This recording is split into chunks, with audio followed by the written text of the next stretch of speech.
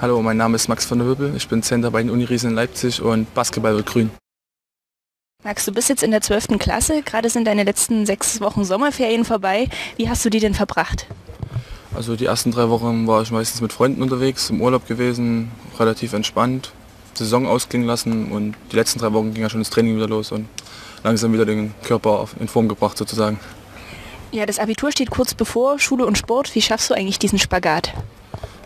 Das wurde mir schon oft gefragt, aber ich versuche die Zeit so zu nutzen, dass ich auch im Bus lerne neben der Schule und möglichst schnell zu Hause bin, fix was esse, Hausaufgaben mache und das Lernen halt eher auf vor und nach dem Training in so kürzere Etappen zu verschieben. Auch wenn jetzt vielleicht deine Eltern oder Lehrer das Video sehen werden, was kommt zuerst, Schule oder Basketball? Eigentlich schon die Schule, das ist schon wichtiger. Ich versuche natürlich den Spagat gleich zu behalten, dass ich beides in Einklang bringen kann. Nehmen deine Lehrer da irgendwie Rücksicht oder ist es denen relativ egal, dass du ja schon einen ziemlich straffen Trainingsplan hast? Naja, sie wissen Bescheid und respektieren das auch, wenn ich mal sage, ja, ich habe mal die Hausaufgaben nicht gemacht, ich werde es aber nachholen und so. Also sie wissen das schon. Sind das also auch tolerant? Ja, kann man schon sagen. Ähm, wie sehen deine Mitschüler deinen straffen Trainingsplan und dein sportliches Engagement? Also sie respektieren mich auf jeden Fall, dass ich das durchziehe und fragen mich halt immer, wie du das halt schaffst, neben der Schule dann doch relativ gut in der Schule zu sein und unterstützen mich auch und fragen, wann ich die nächsten Spiele habe und so und so mal vorbeikommen können. Weil ich ja mit vielen auch zusammen Basketball gespielt habe in dem vorherigen Verein.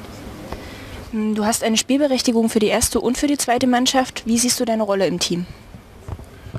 eher eine kleine Rolle, so als kleiner Außenseiter, als Youngster, versuchen möglichst viele Minuten abzugattern und sagen wir mal die Profis in Anführungszeichen die Großen ein bisschen zu ärgern im Training. Ja, also dafür wünsche ich dir auf jeden Fall viel Erfolg. Ähm, du gehörst zum erweiterten Jugendnationalkader, hast schon mit Bundestrainer Dirk Bauermann trainiert. Wo liegt der Unterschied äh, in einer Trainingseinheit mit Bauermann oder auch hier mit Dimitris Polikoniadis oder Sebastian Neuhäuser? Also für mich ist das dann, wenn dann nur die Anspannung, dass halt was Neues ist, ein besonderer Trainer ist, aber sonst versuche ich in jeder Trainingseinheit alles zu geben und so viel zu lernen, wie man nur kann. Was hast du für dich schon aus den Trainingseinheiten mit dem ja, Bundeskader mitgenommen?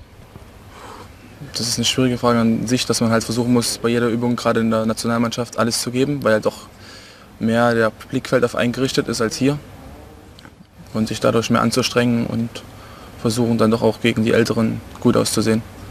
Was wäre so dein basketballerischer Wunschtraum? Dann halt mich möglichst in der Mannschaft zu integrieren und vielleicht doch mit der Nationalmannschaft mal eine Europameisterschaft oder Weltmeisterschaft spielen zu können. Und ja, wenn es mit dem Basketball jetzt vielleicht doch nicht so klappen sollte, welchen Plan B hast du? Na, dann auf jeden Fall studieren oder eine Ausbildung machen und möglichst einen guten Weg im Berufsleben einzuschlagen. Hast du schon was im Kopf, was du gern machen würdest?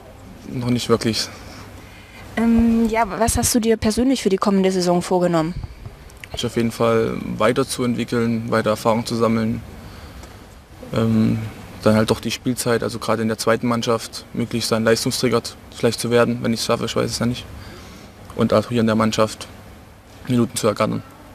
Der Slogan der Uni Riesen heißt Basketball wird grün. Was verstehst du unter diesem Spruch?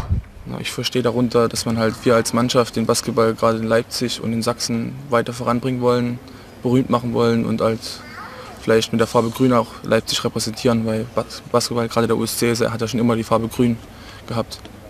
Max, vielen Dank für das Interview und viel Erfolg für alles, was in der kommenden Saison auf dich zukommt, natürlich auch in schulischer Hinsicht.